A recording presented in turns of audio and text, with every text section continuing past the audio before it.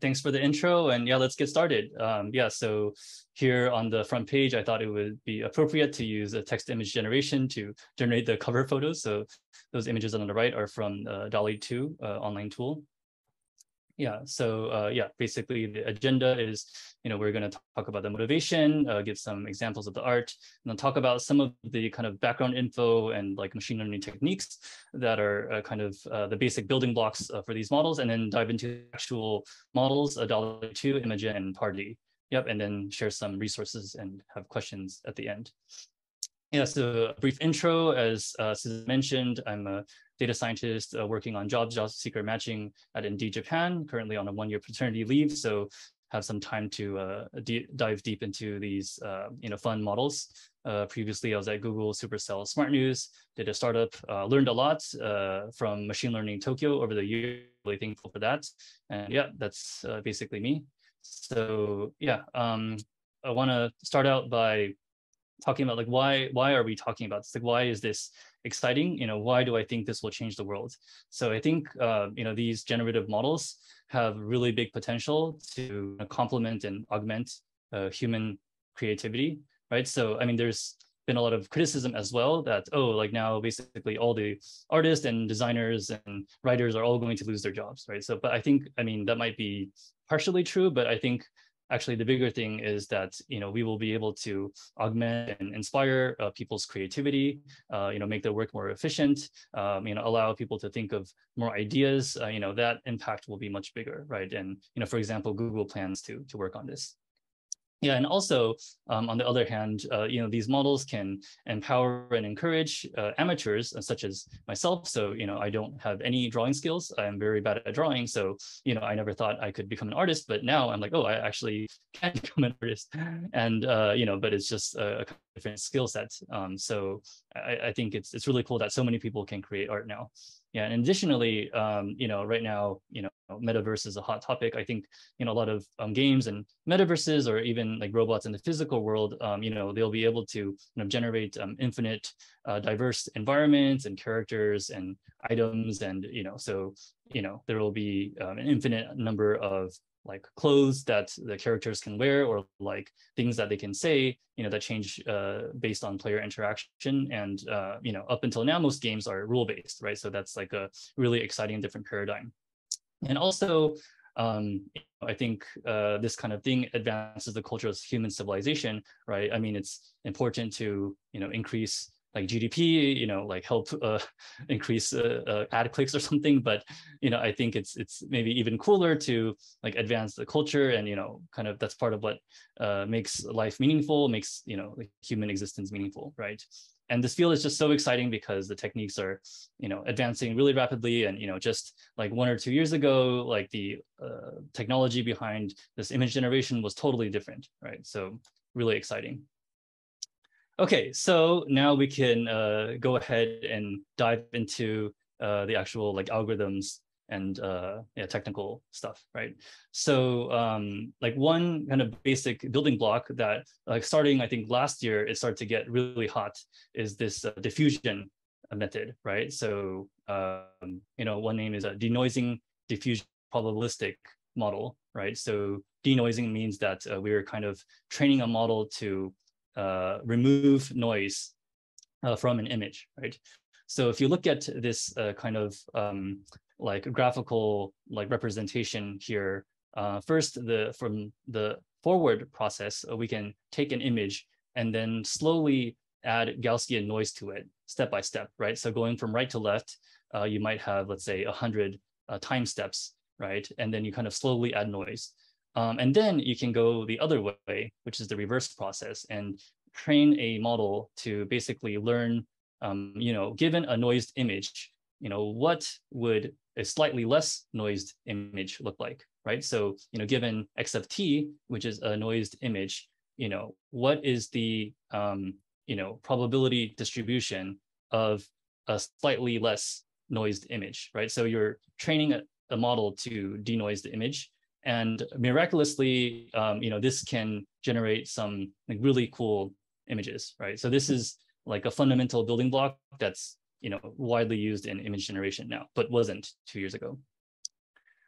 Okay, and then uh, another kind of basic building block uh, for these models is uh, transformers. Uh, so I think uh, many of you know this already. So just very briefly, um, you know, one way to think about it is a more generalized version of a fully connected neural network layer, right? So uh, you have transformer encoders and transformer decoders, right? So uh, in transformers use a mechanism called attention, right? So self-attention is basically kind of learning how, let's say, a a word token in a sentence pays attention or how it relates to uh, other word tokens in the same sentence, right? And uh, for example, cross attention could allow you to learn for each uh, word token in the English phrase, uh, you could uh, learn how each of those relates to uh, each token in the French phase, phrase. Um, and yeah, I won't go into the math of this now, but I think there's really great resources uh, in the links down below, and especially the in the bottom right,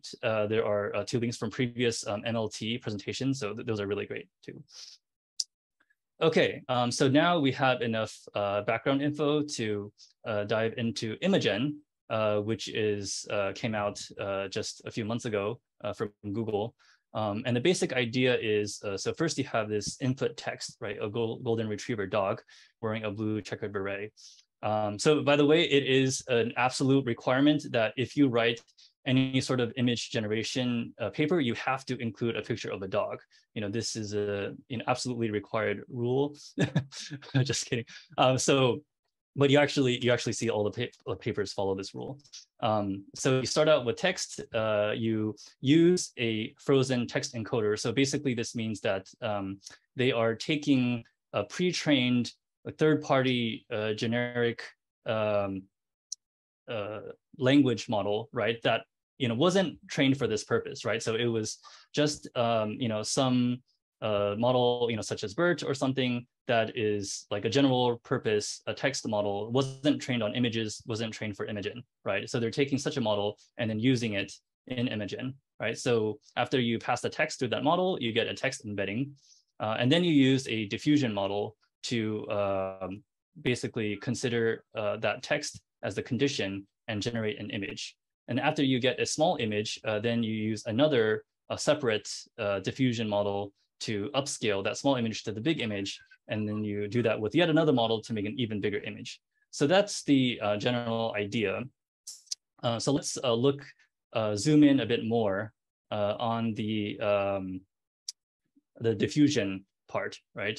So to generate that initial small image, uh, so we have this diffusion process that you see at the top, right? And so again, the reverse diffusion process is to learn the slightly less uh, noised image from a more noised image, right? Predicting uh, p of x t minus one from x of t, right? But in addition, we want to kind of factor in the text information somehow, right? So from the raw text input, uh, you have to, you can convert that into tokenized text, right? So that's basically, um, you know, you can think of that as like having a token per word or like piece of a word and like maybe some other tweaks um, and then feeding at, that into a stack of transformers.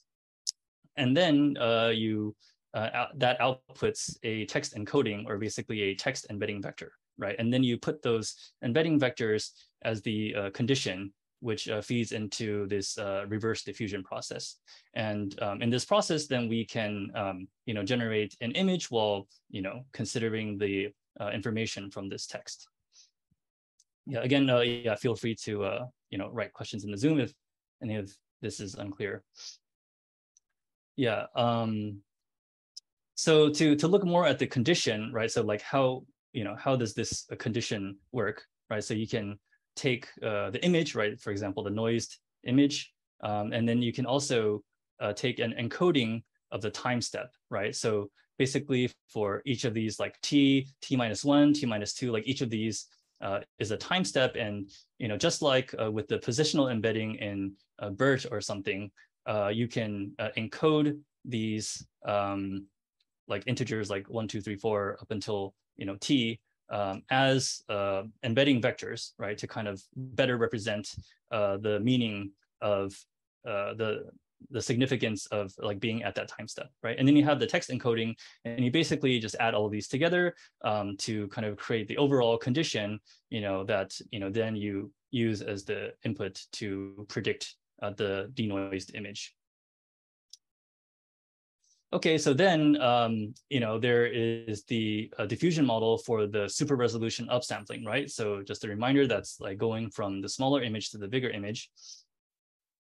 And um, in this case, right, we want to kind of um, like add more stuff to the condition, right? So what it's doing is we kind of generate a small image um, and then we kind of add some a random amount of random noise uh, when training uh, to this smaller image. And then we also include that as uh, part of the condition, right? So now you're kind of conditioning on both the um, noised larger image and the corrupted smaller image and the text all at the same time when um, you know you learning this uh, denoising process for the larger image, right? And um, the kind of uh, intuition behind this kind of noise conditioning augmentation, this corruption, is that uh, basically the model learns uh, kind of more to be more robust uh, when learning to deal with this noise, right? So I think often in machine learning, like adding noise actually can, uh, you know, basically train a model to be more robust. Okay, so that was, um, you know, basically um, Imagen. And now uh, moving on, I want to uh, talk about DALL-E 2 which is uh, probably a lot of the, the, the images you're seeing on like Twitter and, and Reddit and stuff are, are being generated by DALL-E 2.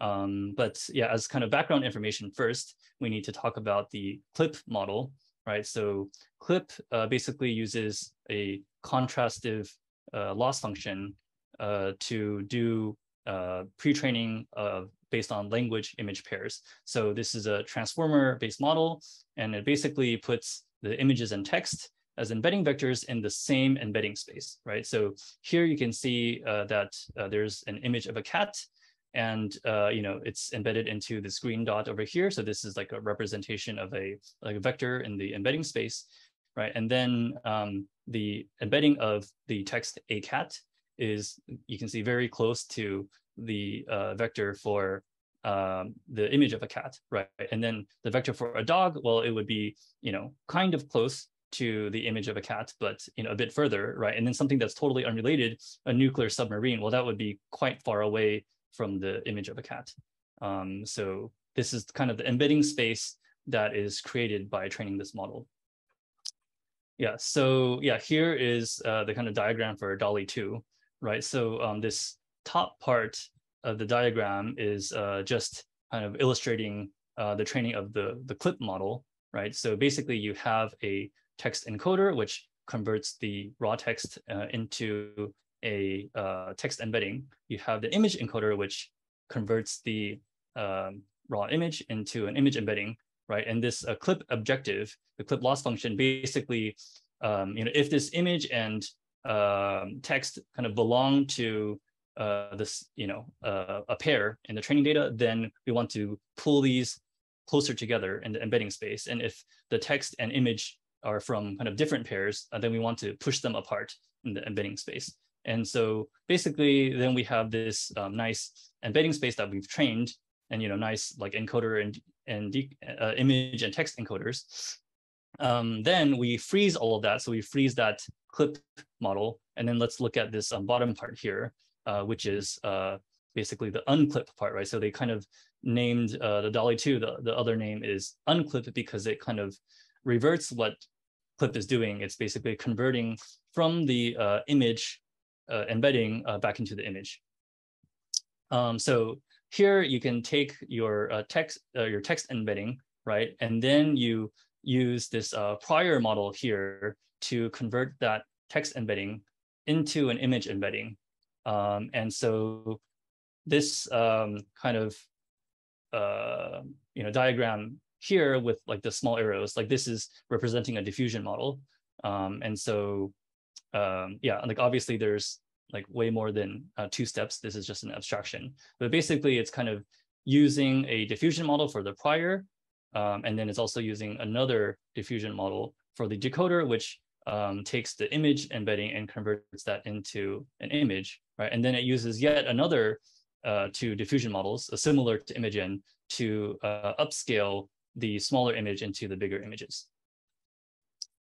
Yeah, and uh, as for this part, um, so this is representing an autoregressive model, right? So again, a, a, a autoregressive model is basically, um, you know, predicting the next image token uh, based on the like previous image tokens.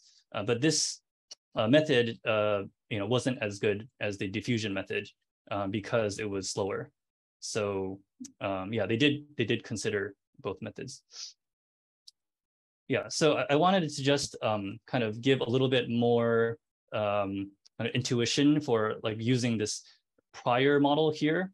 Um, and basically, and, and this is an explanation from one of the co-authors, right? So it's prioritizing modeling of the high level semantics that makes images meaningful, right? So, you know, in an image, you actually have a lot of information, right? You have, so the kind of high level semantics refers to, for example, like, you know, like what are the objects in the image? Like, what are they doing? Like, you know, is, you know, like, like object A, like next to object B or like in front of it or behind it. Um, so these, the like the re relation between these objects, like that's what actually really matters, right? And then there are these fine grained and perceptible details, like, you know, like what is the kind of texture, like on the uh, you know on the person's eyebrow or like you know maybe there's some like little thing in the background that's like super small um, there's these all these details right so you know actually like most of the image data or the image information is kind of these details right but you know what's actually important is the the high level semantics right so if we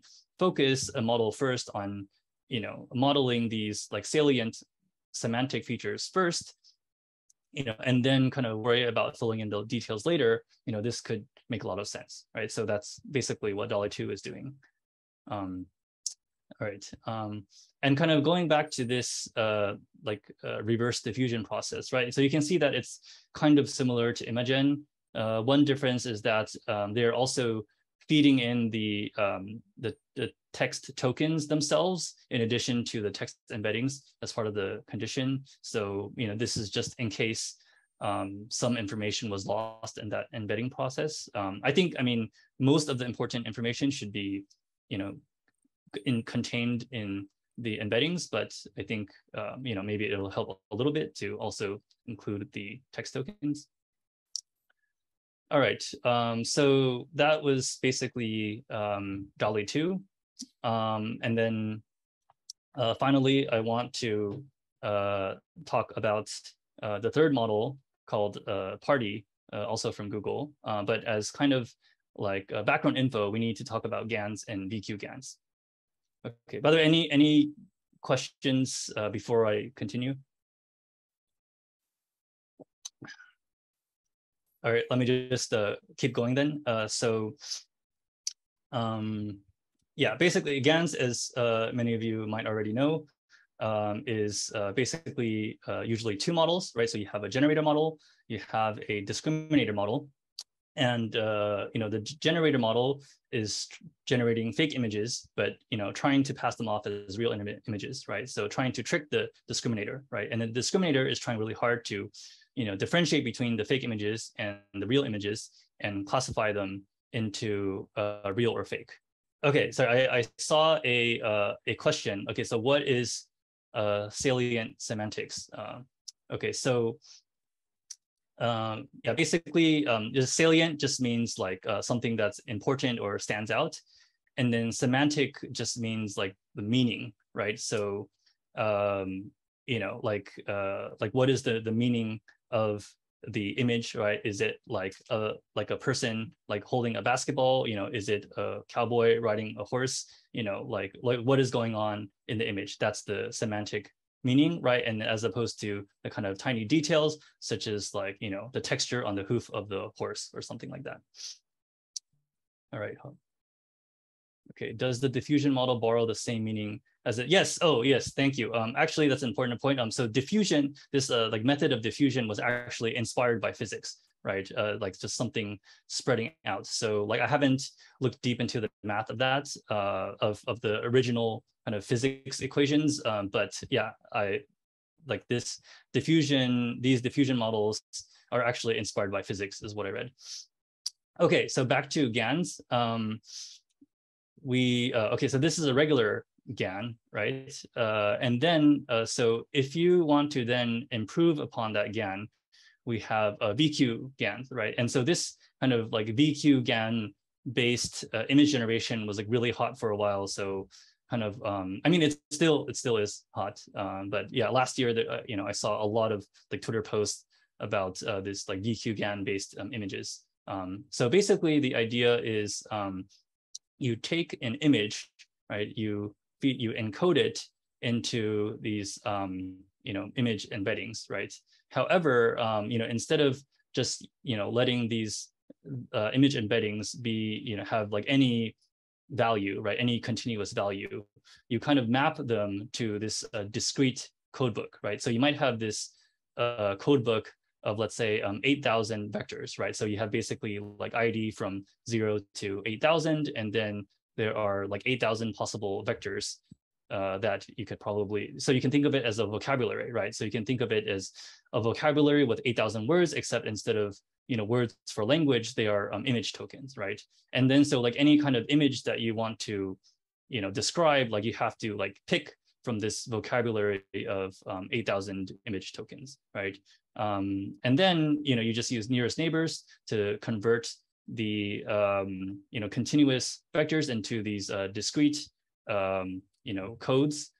And then, um, and, and by the way, to create this codebook, uh, you can uh, train uh, by using, for example, k-means, right, to find like the centroids of a bunch of vectors. Um, and then you can do things like, for example, do like autoregressive prediction. So like given all of the previous image tokens, you can predict a uh, discrete uh, categorical distribution, right, for like what the next image token for B could be. You know, just like, you know, for language modeling, you can, uh, you know, predict what the next word token should be. Um, you know, so, and that's very handy, right? And then, uh, you know, you can decode that um, you know, list of codes, uh, list of image tokens, um, you know, back into an image, right? And then of course, it's, since it's a GAN, you have a discriminator, uh, which uh, here we have it, we have like patch based like a real or fake classification, but it's basically the same idea. Yeah. Um, yeah. So you can think of this kind of quantization process as um, like a type of regularization or also as a type of compression, right? Um, because it's it's compression because um, you know you can just use these like codebook IDs, um, you know, the ID zero to eight thousand to kind of represent this image now. Yeah. So for the question about uh, animations, I will I will get to that later in the presentation. Thanks. Okay, and then okay, so what if we want to like improve this uh, GAN even more, right? So then next, you know, and basically this is a kind of a general trend in deep learning is like everything is moving to transformers, right? So we have the you know, transformer-based version uh, of a VQ GAN, right? So you have like VIT, VQ GAN, just like keep on adding letters, right? Um, okay, uh, sorry, I had a question. Um, how do we get that code book? Is that relate to image sections or something? Um, so basically you can get this code book by first, um, you know, uh, encoding a bunch of images, right? And then, uh, you know, finding these uh, like embedding vectors, like based on this this encoding of those images, right? And then you can, you know, let's say if you want to have a codebook of 8,000 codes, then you can just do like k-means clustering with uh, 8,000 centroids. Um, I might be like simplifying it a bit, but that's the basic idea. So you basically kind of find the like uh, the vocabulary that is you know reasonably close to you know the uh, the the vectors that you would have otherwise. Okay, uh, I think I'm getting a lot of questions. So let me just uh, move on, uh, and maybe we, we, might have time to address all the questions at the end. Sorry. Um, yeah, so um, yeah, VIT VQ GAN um, is basically uh, replacing the uh, CNNs, the convolutional neural network, with uh, a transformer architecture, right? Um, and you know, like part of the thinking behind this is that um, if you use um, CNNs, right, you're basically um, including an convolutional inductive bias, right? So, you know, an inductive bias is basically like the human designer of the model, you know, basically has some thoughts about, you know, this kind of designing the convolutions because, you know, the human like model creator um, thinks that you know the image structure should be a certain way, right? You know, so that can be very helpful, um, but at the same time, it's less general than transformers, right? So transformers is like a this like very generic structure that you know might be able to learn uh, patterns or relationships that uh, you know in in a more general way. So you're kind of like giving the model more freedom to like learn whatever there is to learn about the image, right? Compared to uh, CNNs. Um, and yeah, basically the other stuff is the same here. We're just uh, replacing the CNN with the transformer. Okay, and so now, um, now that we have uh, kind of those concepts under our belt, we, we can talk about Parti.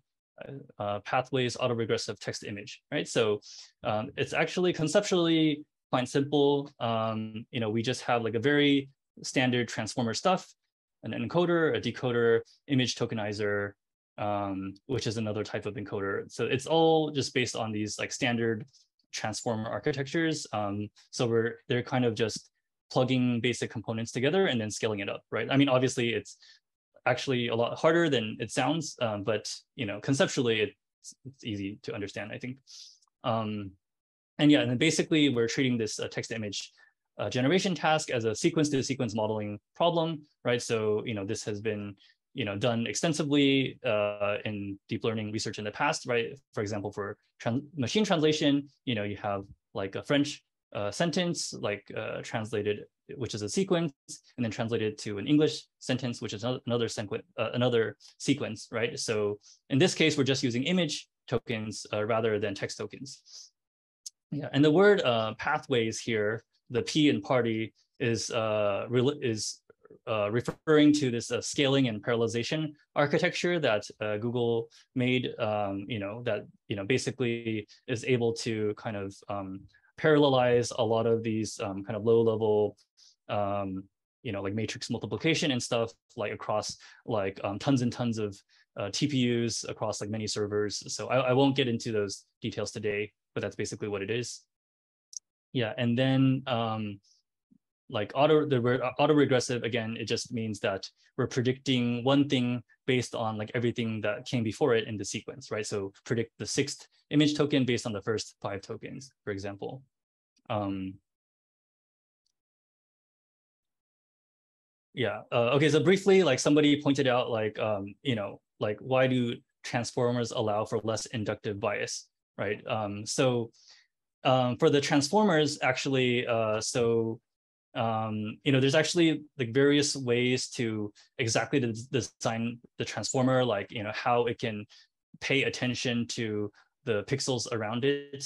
Um, and, uh, but in general, like for CNNs, uh, you know, you might have like a like three by three uh, convolution with like mean pooling or max pooling or something, right? So that kind of like three by three uh, convolution is kind of very uh, limiting uh, if you design it that way. Whereas like a transformer, like typically you would be paying potentially paying attention to like a much bigger uh, number of pixels, right? So it could be paying attention to like a huge space like around a given pixel and even to like you know like um, edges like the edges of the images it depends on like how you define um like design the um the attention but generally it is potentially able to kind of like relate the pixels in a much like broader and more flexible way than like convolution operations.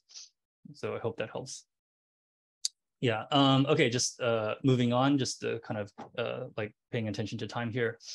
Um, okay, so um, Parti, um, it's basically a two-step approach, right? So in this uh, bottom right here, uh, we have uh, you know an image, we have an image tokenizer, uh, which is a transformer model, right? Which, uh, you know, just like we saw in the uh, VQ GAN slide above, uh, we have an image and we convert it into image tokens uh, that are vector quantized, right? And then so that feeds into like, that's what this I1 and I2 here are. This is the output of the image tokenizer.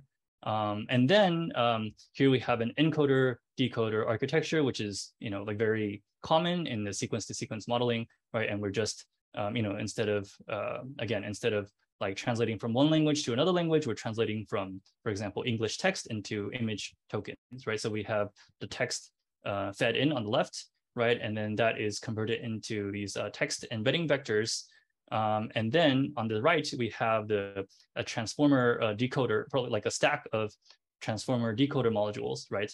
And then each of these um, decoder modules have, um, you know, cross attention, um, you know, paying attention to the text embedding vectors, right? So, and then additionally also kind of factoring in uh, the uh, these um, image uh, tokens, right? And then, uh, you know, we learn how to predict the next to image token given the previous image tokens, right? And then we can just use this image detokenizer to uh, convert those uh, image tokens like back into a picture. Um, and you know, actually, this image tokenizer and detokenizer, they were called um, encoder and decoder in the previous slides, right? You know, but then if we call those encoder and decoder, we you might get the name mixed up with the you know the the sequence like encoder and decoder on the left, right? So I think to kind of prevent that name confusion, they they um, use the words like tokenizer and detokenizer um, to differentiate it from the uh, sequence encoder and decoder on the left. Oh yeah, uh, somebody asked like, uh, what is used within each step with a diffusion model? Like, is it uh, U-Net? Um, so yeah, actually, um, uh, Imagen model actually uh, used a this thing called efficient U-Net, uh, which is like kind of their like improved version of a U-Net uh, for their diffusion model. But um, as for uh, Parti and uh, DALL-E 2, I think they're just using like like a stack of typical um, transformer encoders and transformer decoders. Like I don't think there's like any well there, there's not anything like special about that stack of decoders uh, that they mentioned. I mean, but I mean it's not open source, so so you know I don't know for sure. But they didn't kind of mention anything special about that kind of like you know anything they changed about the transformer architecture. Yeah, and then the the VQ GAN here. So so like the, the VQ GAN part is not part of the diffusion, right? So there is like a paper on like how you can combine um, uh, diffusion and GANs, but uh, yeah, for the models I'm mentioning today, like the kind of the GAN part is kind of like separate from diffusion. Okay, so I think now is a nice time to uh, show this meme. Uh, so the guy is asking, is that all you need? And the guys, other guys holding attention and saying yes, right? Because um, there was this kind of like um, very audacious uh, paper name, Attention is All You Need, in uh, 2017, I think, uh, which is the kind of like seminal paper on transformers. And yeah, everybody always makes fun of the name. Yeah. Yeah. So, so, but yeah, I mean, basically you see that like everything is transformers, right? So it's kind of like almost everything you need is, is done by transformers, sort of. Yeah. Um, so here uh, we see, uh, so there's a big emphasis on scaling in this Parti paper. Um, you know, like scaling is, is part of the name of the paper. Uh, so you can see that on the left, um, you have, if you only use 350 million parameters, um, you know, then it's like, okay, the text is kind of like incoherent. Um, the kangaroo has like multiple ears in the wrong places. Um, you know, the back part is like kind of blurry. Okay, and then, you know, as you go from left to right, from 350 million to 20 billion parameters, um, you know, on the right, it's like basically perfect, right? Like the text is like perfectly spelled. Um, you know, the background looks, you know, basically looks like a photo. It's like really nice. Yeah. And uh, here's another example, right? A map of the United States made out of sushi. It's next to a glass of red wine. So, you know, on the left part, you know, you have, you know, two glasses instead of one glass. So that's wrong um yeah kind you know the, the shape is kind of incoherent and on the, the, very right it's like almost perfect right it's like very close to like if you actually I, I, mean even if i tried to like buy sushi and arrange it like this i don't think i could get it to look this nice to be honest um yeah so i think it's a good time to quote uh, rich sutton's uh the bitter lesson right which is basically like a, a famous blog post saying that in the end you win by scaling generic methods right? So you could you know figure out like all this um, kind of like detailed like task specific like methods and stuff but you know ultimately the kind of you just scale up the generic method a lot and then you win. So you could see this as either like a happy thing or a sad thing depending on your uh, perspective.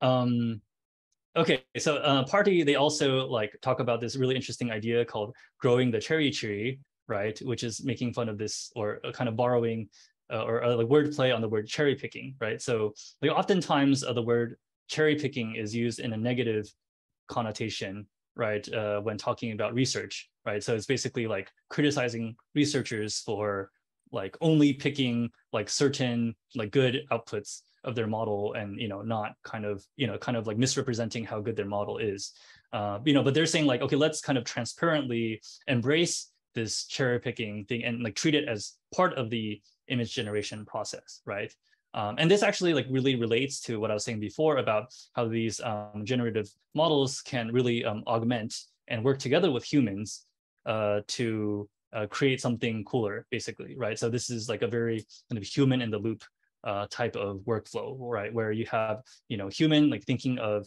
maybe like simpler prompts, maybe first like, you know, a sloth and a van separately, right? And seeing what works. And then after you figure out what works, then you kind of like combine those prompts uh, and then, uh, you know, kind of gradually make it more and more complicated. Um, so I think, um, you know, there's a lot of things you can do. Um, you know, you can also like combine outputs from different models, like different tools. And, you know, there's just like endless possibilities for like what an artist can do. Uh, and, you know, it's not just about like inputting one piece of text and then getting one image and then just being done with it, right? There's actually a lot of these like iteration and like like creative combination of tools you can do, right? Which is why like, um, you know, you, won't just have like one model that like replaces like all human artists uh, like that that's just not going to happen right at, le at least i mean not not anytime soon. Okay so i think we, we've talked about uh, you know these three different models and i think it's like really easy to get like confused about like kind of what uh, you know how these models are different or you know like which kind of aspect was belong to which model. Um, so i kind of tried to like break it down here into like this uh, like co comparison overview right? Um, so you know this so um, you know for a while um, you know it was thought by some people that okay now diffusion is the thing like um, diffusion is like the hot new method and like GANs are no longer cool right? But then um, this google Parti paper came out and was like oh whoa whoa like actually you know GANs can still like compete with diffusion models right? You just didn't scale it enough i guess right? So you know we'll have kind of these you know it's interesting how these like vastly different um, uh, model paradigms kind of uh, can compare in a similar way and perform in a similar way, right? Yeah, the text encoder differences are actually like quite interesting as well, right? So again, um, the DALL-E 2 uses this uh, CLIP model that's, you know, has like image and text of sharing and embedding space, right? Whereas like Google Imagen, they were just using a model that had nothing to do with images and, you know, nothing to do with Imagen, uh, but it was just like a um, you know really big text model. And they actually found that it was even more important to scale up the language model than scaling up the image generation diffusion model. So you know that was kind of like counterintuitive. Um, and then yeah, uh, Parti um, you know also trained on both uh, text and image text. So this is like a big difference between the three. Um, also, yeah, DALL-E 2, uh, they used a latent prior model as we discussed, um, but um, and, and you might think that, okay, well, you know, Imagen and Parti, you know, didn't use a latent and they did very well. So, you know, you know, is the, do we really need a latent? Um, I, you know, I still think that this idea of using a latent to model the kind of high level semantic uh, information in an image is like a very powerful idea. Um, there's a, another influential paper called latent diffusion that um, kind of describes a similar idea. And, um, you know, I think it's a way, especially since, you know, not all of us have like all of the scale that Google has, um, this idea of, you know, generating images like in the latent space, uh, you know, def definitely like this will still be an, an important idea going forward, I think um, classifier-free guidance, all of these models used it, and I'll talk about it on the next slide. Um, yeah, uh, one, oh yeah, okay, can I define latent prior again? Um, yeah, so, so basically, um, latent prior is just um, kind of this model that was used in DALL-E 2 to uh, convert from the uh, text embedding to the image embedding, right? And they they even like text tried a version of this model which didn't have a prior, um, and you know, it was still able to generate like okay images, um, but uh, you know they found that it was better. You know, like the image quality was better if you include this prior. Um, so it's basically like you know modeling this these um, a model that first you know models the high level semantics Uh, and then you have this other this decoder that figures out the the small details basically. Okay. Um, all right. Um, and then uh, yeah, right now uh, DALL-E 2 is open to external users. Uh, so please everybody sign up. Um, you know, it is you do get like a free uh, a few free uses um, before it starts to charge you so it doesn't hurt to kind of just start using it and trying it um, yeah and here are some maybe like other notable things uh, but yeah let's just uh, i guess move on to the next slide um, okay so kind of last like concept i want to cover here is a classifier free guidance which was used in all three of these models